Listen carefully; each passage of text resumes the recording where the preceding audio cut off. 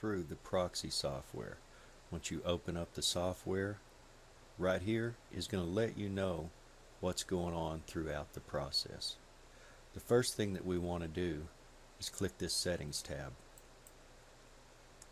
From here we can set the number of threads that we want to use and the timeouts that we want to use. You can select up to 100 threads on each one.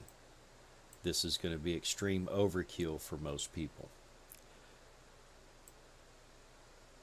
Can set your timeout. You're seeing it right here. I've set this to 4 seconds, 4 seconds, and 4 seconds.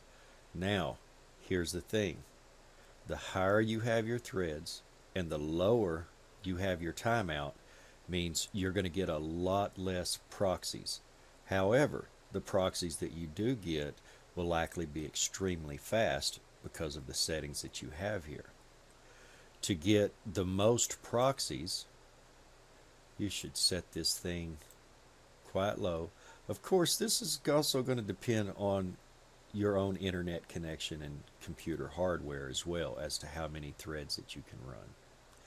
But if you set your threads pretty low and you set your timeouts anywhere from 8 to 15 seconds, then you're going to end up getting a lot more proxies. They're a little bit slower, but really for most applications, even though it looks like they're going through the proxies real fast and you think in your head you're thinking well i need as as fast proxies as i can get.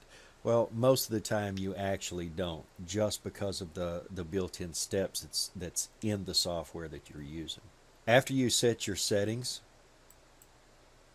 click on the home button to get back to this page and simply click your start process now it's going to collect your lists and this is going to go up to 100 pages then it's just going to stop from a visual perspective for a little while and then it'll go ahead and move on. So don't panic or worry, it's not broken.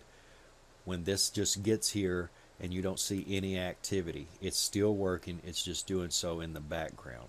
Once it finishes loading all of those proxies, now it's going to come through and it's going to start checking them. It found 13,000 proxies that claim to be elite proxies. And now it's systematically going through to check them. Now you'll notice a discrepancy here between what you have in either of these boxes. These that are not showing anywhere are absolute transparent proxies. In other words, they're absolute garbage. As it goes through checking, it's verifying for highly elite, highly secure proxies, and it's going to list those on this side. It's going to list anonymous proxies on this side. Personally, I do not use anonymous proxies, but there are valid and viable uses for them, so we've included those as well. Once this process finishes, it's going to give you an alert. When you click the Save button, it's going to open up a prompt window for you to select what you want to name this file and where you want to save it and it is just going to be your elite proxies list. However, at the same time, it's going to save a CSV file on your desktop, and within that CSV file is the geolocation data for all of the proxies that you found. Now, as you can imagine, not all proxies provide data. Those are clearly marked. The rest will have the data, and in most cases, you're, you're going to get full data all the way down to just the country it's coming from. Enjoy the software.